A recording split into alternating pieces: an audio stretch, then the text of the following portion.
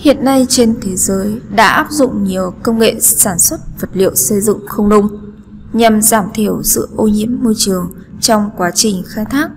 Bạn đang băn khoăn về định mức cho từng mã sản phẩm cũng như phương pháp tính giá thành chính xác tại công ty gạch không nung.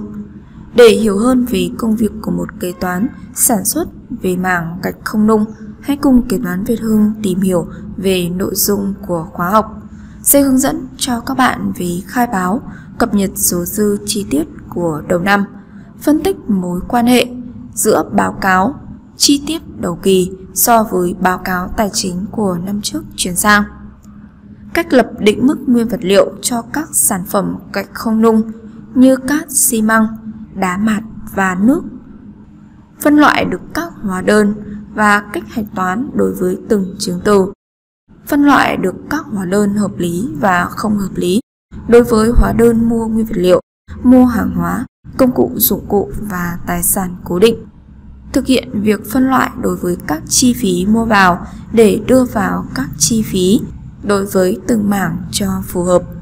Xử lý các trường hợp các phát sinh trong doanh nghiệp sản xuất gạch không nung để có các phương pháp xử lý cho phù hợp. Các nội dung liên quan đến tính lương, tính bảo hiểm và các hồ sơ chứng từ đi kèm đối với lương. Xử lý các tranh lệch giữa kiểm kê thực tế so với sổ sách, lập báo cáo kiểm tra lại toàn bộ các chi phí phát sinh trong kỳ tương ứng với doanh thu để thực hiện việc tính giá thành. Lập các báo cáo và các tờ khai phải nộp hàng tháng, hàng quý, bao gồm tờ khai thuế giá trị gia tăng, thuế thu nhập doanh nghiệp và thuế thu nhập cá nhân. Và cuối cùng là kiểm tra lại các số liệu, xác định lợi nhuận của doanh nghiệp cũng như cân đối lại các chỉ tiêu, điều chỉnh trước khi lên báo cáo tài chính.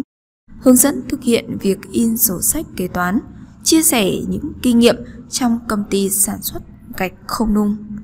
Trong giáo trình của kế toán Việt Hưng, các bạn sẽ được lựa chọn các hình thức học phù hợp, bao gồm hình thức tự học, học lớp tập trung, lớp online và hình thức một giáo viên kèm một học viên. Đặc biệt là toàn bộ các hóa đơn chứng từ các bạn sẽ được học trên giáo trình online. Nhấn xem giáo trình và chuyển sang trong web kế toán việt hương.com. Các nội dung trong khóa học, các bạn sẽ được đi vào các nội dung chi tiết về hướng dẫn khai báo dữ liệu đầu kỳ, các hóa đơn chứng từ phát sinh cho đến khi lên báo cáo tài chính. Và toàn bộ các hóa đơn chứng từ sẽ là các video hướng dẫn, chi tiết cho các bạn từng nghiệp vụ và cách hạch toán trên phần mềm. Ngoài ra, các bạn có thể lựa chọn hình thức học trên chính chứng từ tại đơn vị mà các bạn đang làm việc. Kế toán Việt Hưng hy vọng sẽ được chia sẻ những kiến thức và kinh nghiệm cho các bạn ngay từ hôm nay. Đăng ký nhận tư vấn lộ trình khóa học bằng cách liên hệ đến các số hotline của trung tâm 0988 680 223 để được tư vấn và hỗ trợ.